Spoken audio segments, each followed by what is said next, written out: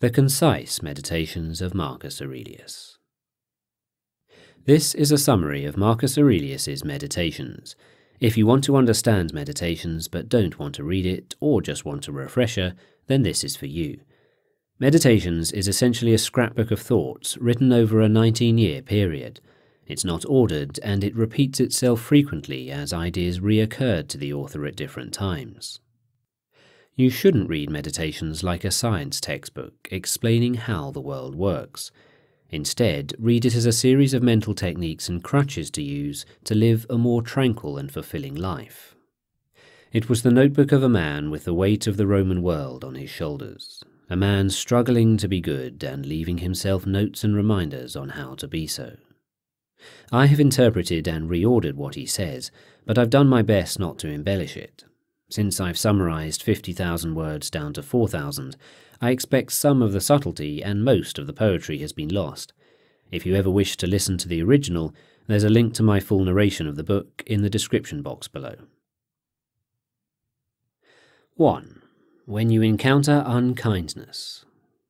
When receiving bad treatment or criticism from someone, either the other person is right, in which case you've no right to complain, or they're wrong, in which case they're misguided and have just made a mistake. Remind yourself how many mistakes you've made in life and feel pity for them. By all means, point out to them where they've gone wrong, but do so affectionately, not meanly, with hatred in your heart or to impress onlookers. Speak directly to them. If this doesn't work, ask yourself what qualities nature has given us to counter the defect. For example, as an antidote to unkindness, it gave us kindness. Put that to use and see what happens.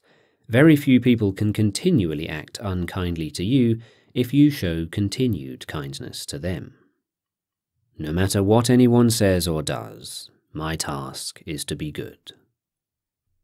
If you've mistakenly trusted an untrustworthy person, then turn the reproach on yourself. The fault is yours. Recognize that untrustworthy, bad, and even evil people exist in the world. To expect not to encounter them is foolish. Say to yourself, I have encountered one of them. This is to be expected from time to time. Then remember that any evil that men do you only harms your soul if you do evil in return. It is your job to be good and not allow their evil to change that. The noblest kind of retribution is not to become like your enemy. With that in mind, recognize that everything depends on how you interpret it. Everything is interpretation is a quote Marcus Aurelius cites from a Cynic philosopher. He notes that obviously this is not literally true, but that it is a useful mental crutch. If you take it for what it's worth, you can apply it to everyday life with amazing results. With that in mind, remind yourself that how things affect you is determined by your mind's interpretation of them, not the external things themselves. Whatever happens, you can choose how to interpret it, so choose not to feel harmed, and you haven't been. If it rains, you can choose to feel angry at the weather and pained by the sensation of the water on your clothes and body, or you can choose to feel grateful at being alive and being able to feel such sensations. How easy it is to repel and wipe away every impression which is troublesome or unsuitable, and immediately be in all tranquillity. So work on gaining control of your mind to frame things positively. Ultimately, you are what you continually think, so take care which thoughts you allow to exist in your own head. Your mind will take the shape of what you frequently hold in thought, for the human spirit is coloured by such impressions.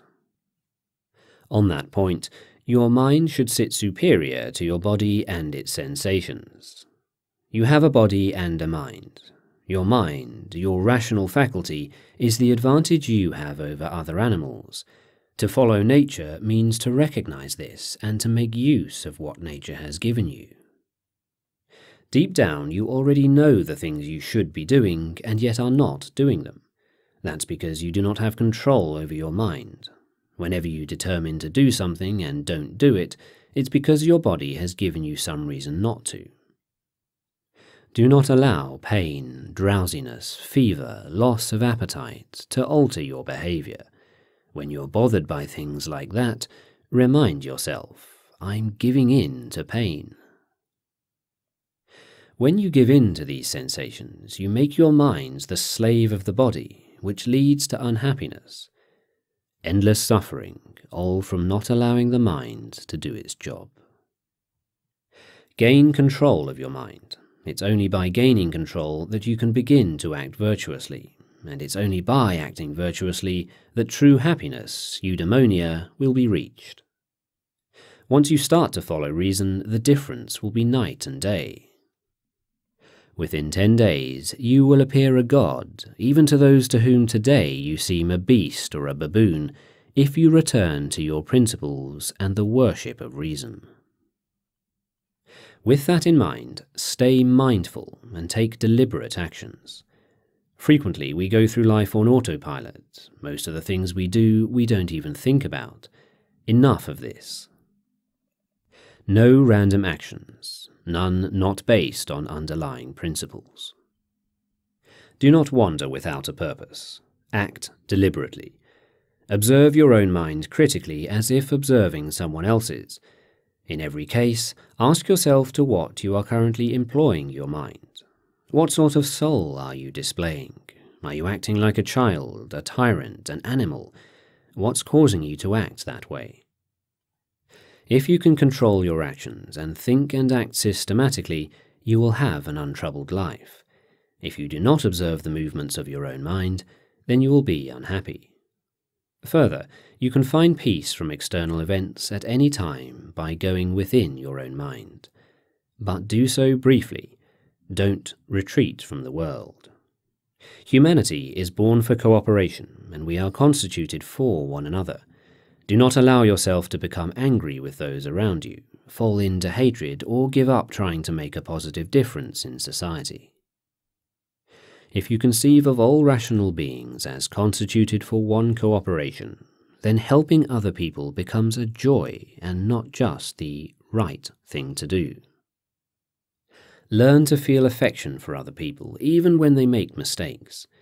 You can do so by recognizing they're human too, and we all make mistakes, and that before long they will die, just like you, and that we're all in this together. What's more, regardless of what they've done, they haven't really hurt you. Another mental crutch he offers is to contemplate the positive qualities of those around you. We all have different abilities and talents, and keeping theirs in mind will make you think better of them. When you need encouragement, think of the qualities the people around you have the energy of one, the modesty of another, the generosity of a third, Keep the thought of them ready to hand. 6. Your opinion of yourself matters more than the opinion of a stranger. It never ceases to amaze me. We all love ourselves more than other people, but care more about their opinion than our own. This is not an exhortation to arrogance. It's reminding you to do what you know is best regardless of people's reactions. You know what you're about, and you know the reason why you're doing what you're doing. You don't need to explain yourself to everyone. Even worse is when we fawn over and seek the praise of people we don't even respect. Think about that, seeking the praise of those who are worthy of contempt. As a crutch to avoid being too concerned with praise, Marcus Aurelius suggests contemplating what difference it really makes, and considering the insignificance of it in the grand scheme of things. Fame in a world like this is worthless. His conclusion from all this is that we should be honest and straightforward. We shouldn't prance about, keep airs, or try to portray ourselves as something we're not. We should abstain from rhetoric and trying to pander or curry favour. However, with that said, be open to correction. Being corrected is better than remaining in self deceit. You shouldn't view changing your mind as losing, or that you're being coerced. It is still a free and noble action on your part to change your mind if the evidence turns against you. Just don't change it because of peer pressure or to ingratiate yourself with others. Remember that to change your mind and to accept correction are free acts too. The action is yours based on your own will, your own decision, and your own mind. With that in mind, cherish the freedom and liberty of everyone. Learn to endure the freedom of speech of others. You cannot control them, so learn to control your reaction instead. Learn to hear unwelcome truths. Listen attentively to people and seek to place yourself in their shoes. Habituate yourself not to be inattentive to what another has to say, and, so far as possible, to be in the mind of the speaker. Uphold the rights of everyone as equal under the law. It was from my brother that I conceived of a society of equal laws, governed by equality of status and of speech, and of rulers who respect the liberty of their subjects above all else. Recognize that power corrupts. Recognize the malice, cunning, and hypocrisy that power produces and the peculiar ruthlessness often shown by people from good families. If you ever find yourself in a position of power, remember this and check yourself. Resist becoming despotic. Take care not to be transformed into a Caesar, not to be dyed with this dye, for such things happen. Fight to be the person philosophy tried to make you. With that in mind, have some self respect. With every act, ask if you are respecting yourself with it, and if you will regret it inside. Watch for and erase any impulse to express things you don't truly believe. Do not view anything as beneficial which causes you to break a promise, lose your self respect, or hate anyone. When roused to anger, remember that there's nothing manly about giving in to emotion. It's courtesy and kindness that define a human being and a man. He who possesses these qualities possesses strength, nerves, and courage, not the man who is subject to fits of passion and discontent. Make yourself neither the tyrant nor slave of any man. And whatever happens, avoid complaining do your job without whining. If you can do the job in front of you, then do it and don't complain. And if you can't, then seek someone to help you and don't feel ashamed. But still, don't complain, not even inwardly to yourself. Frequently in life, the obstacle is the way. If something bad happens, just say, Good. What new opportunities does this open up? In the same vein as recognizing how your interpretation of an event can affect whether it hurts you, you can go one step further and ask how your interpretation of it can even benefit you. The mind adapts and converts to its own purposes the obstacle to our acting. The impediment to action advances action.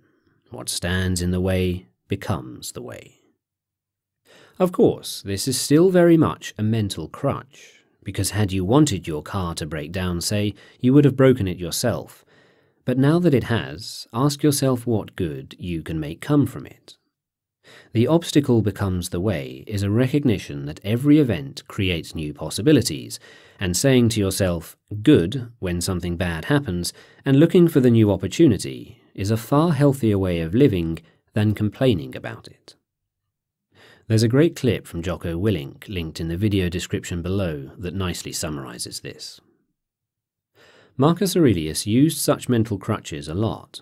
The meditations can be viewed as a series of practical psychological tricks to make life smoother. Such mental habits allow you to smile and remain happy even when things that would otherwise upset you have occurred. With that in mind, recognize that adversity is part of nature. The universe is indifferent to your existence. It will throw things at you that will rock your world. Accept this for what it is. Difficulties, setbacks, and even tragedies are part of life. They are even part of what it means to be alive. Everyone will experience them. Marcus Aurelius reiterates that since these events are in God or fate's hands, You should not hope and pray for them not to occur, but rather hope and pray that you have the strength of character to endure them when they do. Why not rather pray for the gift to fear none of these things, to desire none of them, to sorrow for none of them, rather than that any one of them should be present or absent? This puts your focus on something in your control, namely forging the strength of character to endure all onslaughts, rather than that which is in fate's control, the unfortunate events. And when they do occur, be like the headland against which the waves continually break. It stands firm and tames the fury of the water around it. But he takes it a step further again and points out that it's through adversity that we get stronger. It's unfortunate that this has happened. No, it's fortunate that this has happened and I've remained unharmed by it. There's an ironic beauty in life that it's these very hardships that give us the opportunity to test ourselves and grow stronger. In every event which leads you to sorrow, remember to use this principle that this is not a misfortune, but that to bear it like a brave man is good fortune. In any case, he points out that for the most part, everything has happened before. The universe is in constant flux, but there's nothing new under the sun. Whatever challenges you're facing, others have met them before. Obviously, society and technology has moved on, but the human condition remains the same. Your partner cheats on you, your friend betrays you, you get passed over for promotion. All these things have been experienced by all of humanity for all of time. Instead of wailing against them, feeling outrage and shock, and repeating the behaviours of those before you, let petty events wash off you and turn your attention to what really matters. Keep a sense of proportion, and it will help you deal with such things. In all that happens, keep before your eyes those who experienced it before you and felt shock and outrage and resentment at it. And now where are they? Nowhere. Is that what you want to be like? Instead of avoiding all these distracting assaults, leaving the alarms and flight to others, and concentrating on what you can do with it all. Because you can use it. Treat it as raw material. Just pay attention and resolve to live up to your own expectations in everything. And when faced with a choice, remember, our business is with things that really matter. Our business is with things that really matter. With that in mind, stay practical and deal with what's in front of you. Stop being aimless and stop allowing yourself to be distracted. Maintain an unwavering commitment and focus once a decision has been made. If you seek tranquility, do fewer things better. Do everything as if it were the last thing you were doing in your life and stop being aimless. Stop letting your emotions override what your mind tells you. Rid yourself of unnecessary thoughts and stop letting your emotions project into the future, fabricating worries for yourself. Master them and focus them on the present, on doing the thing that is in front of you as if it were your last. Wipe away the impress of imagination. Stop being jerked like a puppet. Limit yourself to the present. Through hard practice, you can learn even the things which you despair at learning now. For any task at hand, ask yourself, why can't I endure it? You'll be embarrassed to answer. Don't focus on any physical characteristic which you cannot change, and do not allow yourself to want or pursue what is impossible. Focus instead on the virtues that are in your power to bring forth honesty, dignity, endurance, austerity, resignation, abstinence, patience, sincerity, moderation, seriousness, magnanimity. With that in mind, focus on doing what is right and be prepared to face resistance. If it is not right, do not do it. If it is not true, do not say it. Say nothing untrue, do nothing unjust, and do not be concerned with whether people recognize you for doing so. If you choose to do a kind act, don't do it in expectation of a future reward. The acts themselves are their own rewards and what lead to a good life. True delight and stillness is to move from one unselfish action to the next. Since your job is to act with virtue, act well regardless of how people respond to it, and do not allow the bad actions of another to throw you off course. Do not expect a perfect outcome. Be happy with the smallest progress and in attempting the good act itself.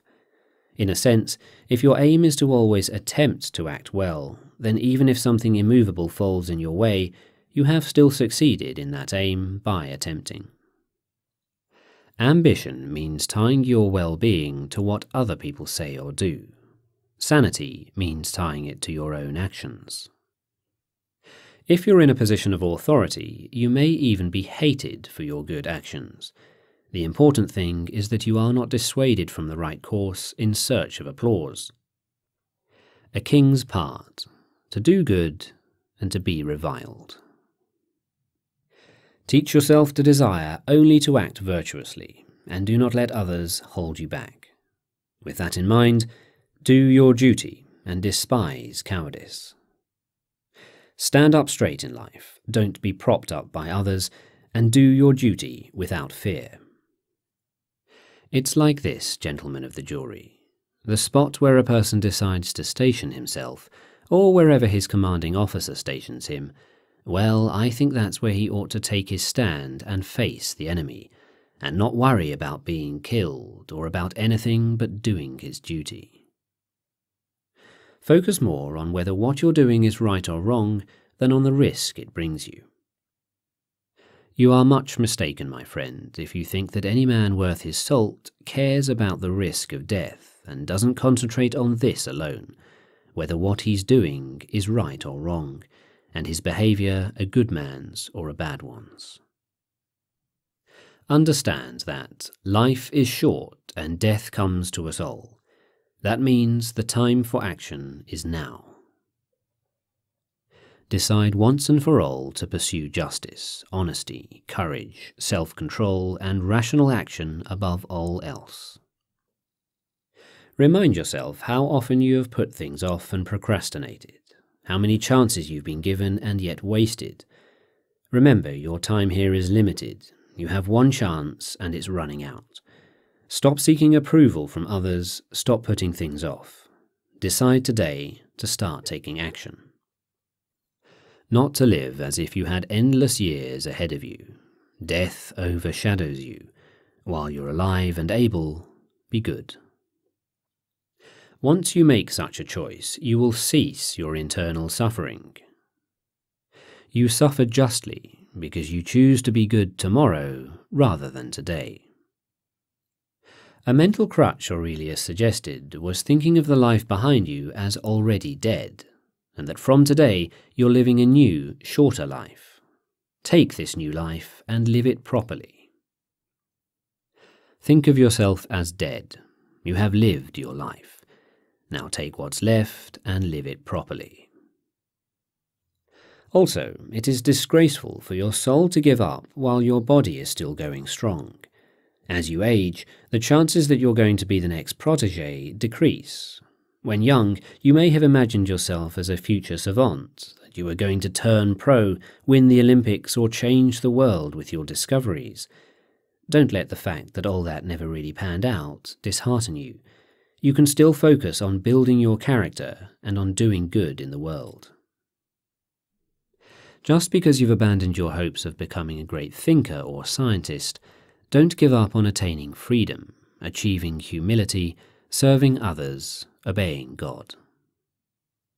And just as you accept the limits placed on your height, accept the limits placed on your life. Death will eventually come for everyone and fearing the future does nothing but stop us acting bravely today. With all that in mind, practice getting back on track. Life is an obstacle course, and no matter how wise you are, there will be things that will throw you off balance. When this happens, make a point of centering yourself at once before proceeding. The more you practice this, the better you will get. When jarred unavoidably by circumstances, revert at once to yourself and don't lose the rhythm more than you can help. You'll have a better grasp of the harmony if you keep going back to it. In other words, whatever negative compulsions you've overcome, there will come a time when you fall off the wagon and revert to your old ways. Recognize when this happens and practice pulling yourself back. Don't listen to the voice that tells you to give up because today is a write off. Not to feel exasperated or defeated or despondent because your days aren't packed with wise and moral actions, but to get back up when you fail, to celebrate behaving like a human, however imperfectly, and to fully embrace the pursuit that you've embarked on. Avoid getting distracted with pride and showing off. Not only does it detract from what you're doing, but the applause you receive is worthless anyway. Pride and outward show is an arch seducer of reason. When you think you're occupied in the weightiest business, that's when it has you in its spell. As such, in all cases, look beneath to see things for what they truly are. A method of lessening the hold things have over you is to look at them for what they really are. Expensive wine is just fancy grape juice. Purple robes, that is, the robes worn by the emperor, are just wool dyed with shellfish blood. This applies not only to material things, but to actions and behaviors. Examine men's ruling principles, even those of the wise. What kind of things do they avoid or pursue? Imagine someone's soul stripped bare. What evokes their love and admiration, their vanity, etc.? Now try to imagine whether their disdain can really harm anyone, or their praise help anyone. Do you wish to be praised by a man who curses himself three times every hour? Do you wish to please a man who doesn't please himself? When facing their insults, hatred, or whatever, look at what sort of person they are. You will see that you don't need to strain to impress them, but you should still treat them well, as they are still human. In all cases, speak the truth as you see it, but with kindness and humility. With all that in mind, recognize material wealth is neither a good nor an evil. Wealth in and of itself is not a good or bad thing, it's how you use it. The term goods is a misnomer when used to refer to possessions. It's possible that possessing too many things can make life worse, so they are not in every case goods. Your only true goods are your virtues. Respect your own mind and prize that. Be satisfied in yourself. If you can't stop prizing other things, then you'll never be free. You'll always be envious, jealous, or afraid that someone might come and take things away from you. That said, while those who crave wealth are misguided, so are those who despise it or feel guilt at possessing it, as it has just a stronger hold over them. Better is to learn to not let it have any hold over you. Learn to make use of it when you have it, but be absolutely prepared to let it go. Use it unapologetically, but also without any arrogance. Treat what you don't have as non existent. Look at what you have, the things you value most, and think of how much you'd crave them if you didn't have them. But be careful. Don't feel such satisfaction that you start to overvalue them that it would upset you to lose them. With that in mind, express gratitude. Marcus Aurelius spends the entire first chapter of Meditations listing the things he's grateful for learning whilst young.